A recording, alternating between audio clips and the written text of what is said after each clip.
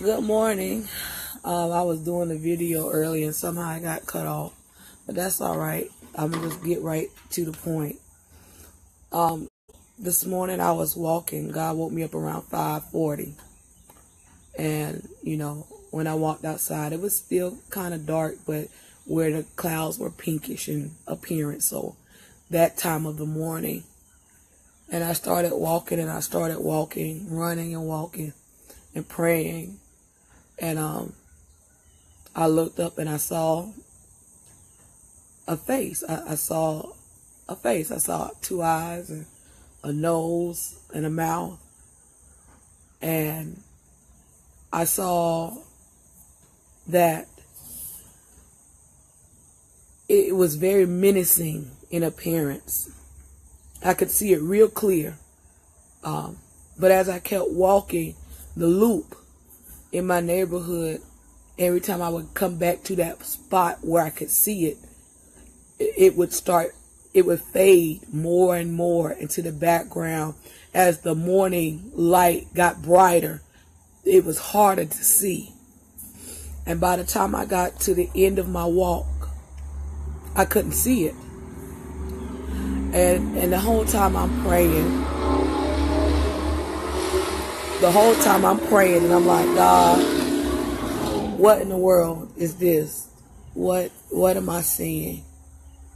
And um I prayed and God said it had to tell me about two or three times before I could really get it. Um he says, Victoria, the closer the light comes, the harder it's going to be for people to see see Satan for who he is. And, you know, I just kept asking God, huh? What? He says, the brighter the light becomes, the more Satan is going to hide. And then I understood it that we are on the cusp of Christ's coming. And Christ said he is the light of the world. He is the glorious light of righteousness and holiness. And y'all, he's on his way. And we can see if we're paying attention, if we're paying attention, we can start seeing some of the rays in the spiritual sky. If we're paying attention, we know he's coming. And because he's coming, Satan is making it his business to fade into the background to the place where we can't see him. And there is a danger in that. There is a danger in that. God is talking to us. And God is talking because he loves us. The scripture says that God is long suffering, that none should perish, but that all will come to a place of repentance, that all can come to the place where we can abide in grace and mercy, where all of us can come into a place where we walk in the abundance of his life. But some of us are not coming to that place because we're not discerning. We're not discerning right from wrong anymore. And God is warning us about that. It's harder to see Satan now. And you can tell it.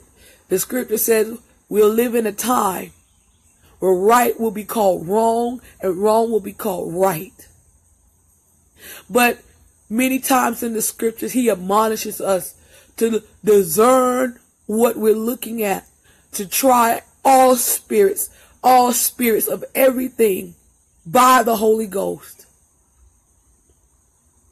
And it's a danger when we don't make it our business to discern and to look past what we see with our physical eyes and, and to hear past what we can hear with our physical ear to feel past what our human emotions will feel. Being surface in this hour is dangerous. It's dangerous. And as I was praying, as I was praying, I said, Lord, let me see. And you know what the Holy Spirit said? Victoria, you will all be able to see if you use the glasses I gave you. Y'all, everything that we're coming encountered with, everything, even in the gospel world, even in our churches, we have to, we have to line it and measure it up by the word of God. Because the scripture says it's no marvel that Satan himself will, will try to blend into the light. And he's doing it. And a lot of us are in spiritual danger where we stand because we don't see. And then when the Holy Ghost, through whatever mean that he uses, whatever vehicle he uses, when the Holy Ghost says, you know, this is wrong, or this is the right way, we don't want to see it. We don't want to see it.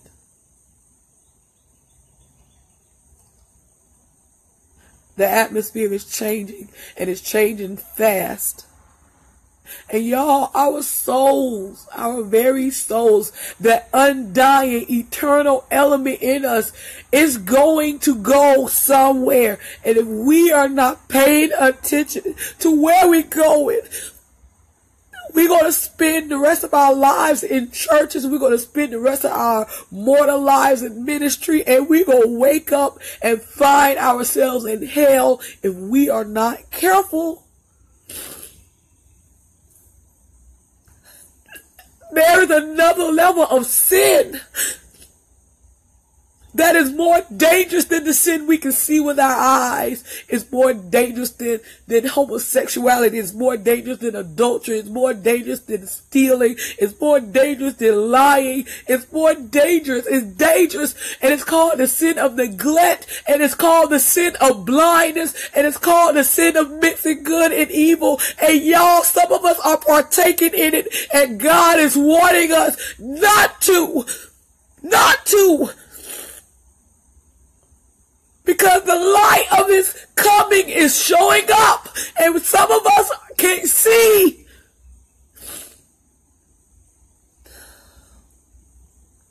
The closer God gets to us, the closer Christ's return is, the more the devil is going to hide. Why can't we understand that?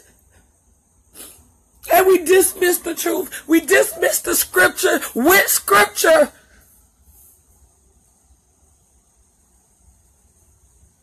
And y'all, we are in a dangerous place when we do it.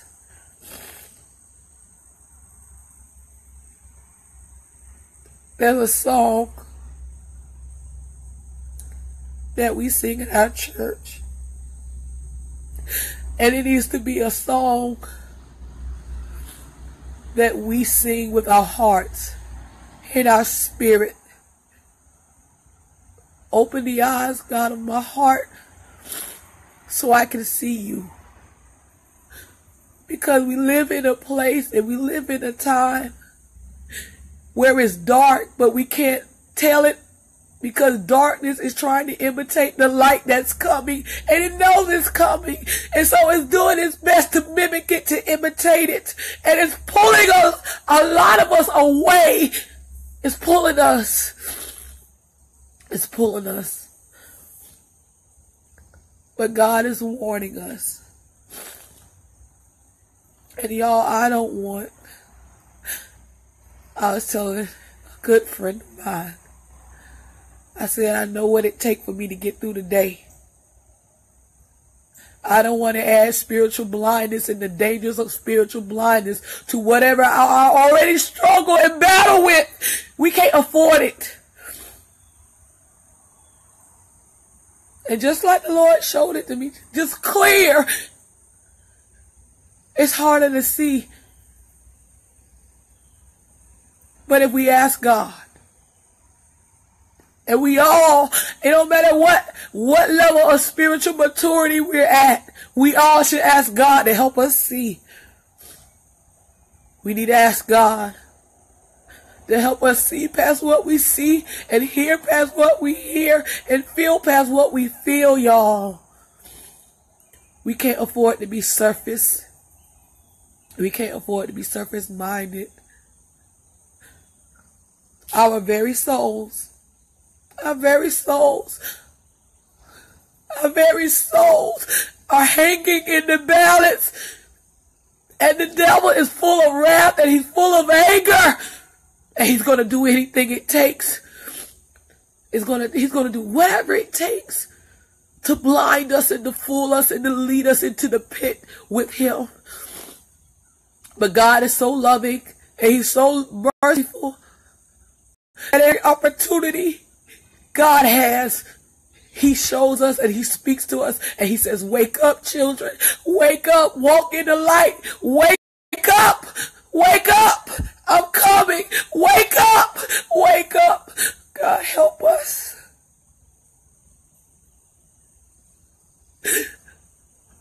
Oh, God help us. Wake up and discern what's around you.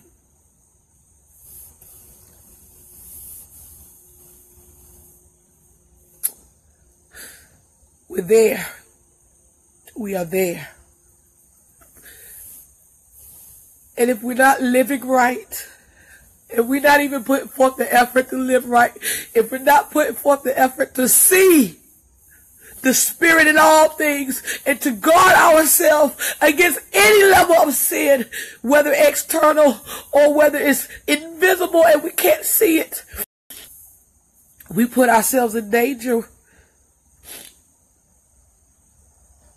Walk in the light, children. If we abide in the light of Christ, He will show us all things. And He will keep us from stumbling. He will keep us from falling. He will keep us from being deceived. And He desperately wants to. But we got to want to see. We got to want truth. We got to accept what God says. And we have to live within the statutes that God set. Don't be drawn away by the darkness that poses itself as light because it will put us to sleep. And the Bible says a little sleep and a little slumber and surely your poverty will come and there's a poverty that's coming that has nothing to do with our economic status, but there's a poverty that's coming that's called the very absence of God. And if we don't wake up, we will live in extreme horrid spiritual poverty in the lake of fire. God help us. Try all spirits. Try everything. Every conversation, every every message, every word, every song, every conversation, every place, every space. Try it by the Holy Spirit so you can see. So you can see clear. Because y'all, if we want to see God, will show us. And just like this morning, I'm going to end with this. By the time I got to my the end of my morning walk. That face I could see very clearly about 10 or 15 minutes before. I couldn't see it. I couldn't see it. But I could still feel it. And it's because God, if we want to see, God to help us see even when it's invisible. God to help us see it. God to help us hear it. God to help us, y'all. And he wants to. So y'all, let's press to see. There's a lot of abominable things going on. There's a lot of things posing itself as right and gospel and true, and it's not. And the world is trying to present the word of God and the statutes of God and, and, and the order of God as wrong, and it's not. God is always right, and the world is always wrong. And there is no mixing of the two. I love you all. Y'all be encouraged. Y'all, let's strive to see. Because our souls are at, at stake. And y'all, Christ is coming. He's coming. He's coming. He's coming. He's coming. And we don't want to be found lacking. I love y'all. Y'all be blessed in the Lord.